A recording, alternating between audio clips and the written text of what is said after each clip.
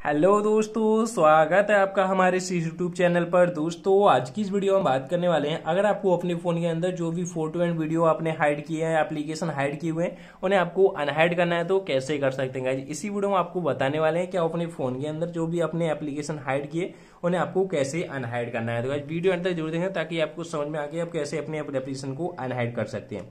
तो इसके लिए आपको क्या करना है, सबसे पहले आपको अपने फ़ोन की सेटिंग में आ जाना है। सेटिंग में जाएँगे। सेटिंग में जाने के बाद आपको स्क्रॉल डाउन करके नीचे आ जाना है तो यहाँ से आपको एक ऑप्शन तो मिल जाता है सिक्योरिटी सिक्योरिटी पे जाएँगे आप। सिक्योरिटी में जाने के बाद यहाँ से आपको नीचे ऑप्शन तो मिल जाता है प्राइवेसी एंड ऐप इंक्रिप्शन इस पर आपको क्लिक कर लेना है। तो यहाँ से आपको जो पैटर्न देखो मिल जाता है, वो पैटर्न आपको अपना इसमें एंटर कर देना है। पैटर्न एंटर करने के बाद यहाँ से आपको ऑप्शन मिल जाता है हाइड ऐप हाइड ऐप पे जाएँगे। हाइड ऐप पे जाने के बाद यहाँ से आप देख सकते हैं, आपकी दो एप्लीकेशन हाइड है, जिन्हें हम कर देते हैं यहाँ से ऑफ़ ओके, यहाँ से इन्हें हमने कर दिया ऑफ़ इसे भी हमने ऑफ़ कर दिया।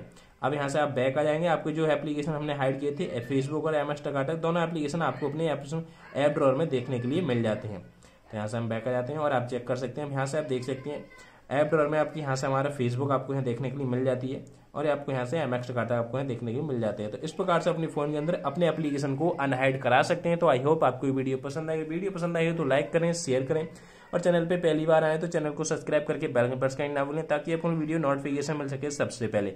मिलते हैं आपसे किसी नेक्स्ट वीडियो में, तब तक के लिए bye bye and take care